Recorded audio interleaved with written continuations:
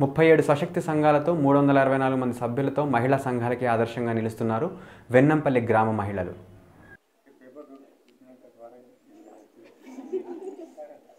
రెండు మూడు అంగీల ఉంటుంది కొడితే రెండు మూడు పేపర్లకి అవి పంపుతాం. ఏంటంటే రెండు మూడు పేపర్లు అక్కడ కాదు కొన్ని పేపర్లు అన్నింటిలో కవర్ అవుతుంది అందరికి కవర్ అవుతుంది ఈరోజు వెన్నంపల్లి గ్రామంలో మహిళా సంఘాల ఆధ్వర్యంలో మమత శబరిమాత గ్రూపుల ఆధ్వర్యంలో నూతనంగా ఎన్నికైనటువంటి సర్పంచ్ గారికి ప్రజాప్రతినిధులకు ఈరోజు మహిళా సంఘాల ఆధ్వర్యంలో సన్మాన కార్యక్రమం చేయడం జరిగింది. ఈ సన్మాన కార్యక్రమం సందర్భంగా వారి సంఘాల అభివృద్ధి గురించి వారి సంఘాలు పనిచేస్తున్నటువంటి తీరు గురించి కూడా చర్చించడం జరిగింది. ఈ వెన్నంపల్లిలో ఉన్నటువంటి ముప్పై ఏడు సంఘాలు కూడా మంచి రికవర్లు చేసుకుంటూ దాదాపు ఒక యాభై లక్షల రూపాయలతోని వీళ్ళు అప్పులు ఇచ్చుకొని రికవరీ చేయడం జరుగుతూ ఉన్నది.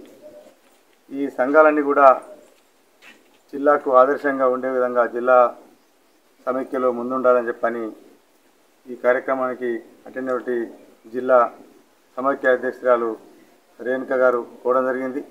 అలాగే సర్పంచ్ ఎన్నికైనటువంటి పద్మ గారు కూడా రవీంద్ర రెడ్డి గారు పద్మ రవీంద్ర రెడ్డి గారు ప్రభాకర్ రెడ్డి గారు నాతో పాటు వచ్చిన అందరూ కూడా సంఘం అభివృద్ధి కొరకు మహిళా సంఘాల అభివృద్ధి కొరకు పాల్పడతామని చెప్పని చెప్పడం జరిగింది. వారు వాళ్ళు వాళ్ళకి ఉన్నటువంటి మొట్టమొదటి కోరిక ఏంటంటే మహిళా సంఘ భవనం నిర్మాణం చేయాలని చెప్పని కోరినారు. మన జిల్లా మెన్ మెన్రల్సెస్ నిధుల నుండి వారికి తొమ్మిది లక్షల రూపాయలు భవనం మంజూరు చేయడం జరిగింది. ఆ త్వరలోనే ల్యాండ్ భూసేకరణ చేసి మరి వెంటనే పని ప్రారంభించే కొరకు చర్యలకు చేసుకుంటామని తీసుకుంటామని చెప్పని సర్పంచ్ గారు మేము జేపీటీసీ అందరు ప్రభాకర్ రెడ్డి గారు చైర్మన్ గారు కూడా అందరు హామీ ఇవ్వడం జరిగింది. మరికి ఎలాంటి ఏదైనా కార్యక్రమం వరకు చేసేటువంటి కార్యక్రమంలో మా అందరి సహాయ సహకారాలు చెప్పని తెలియడం జరిగింది.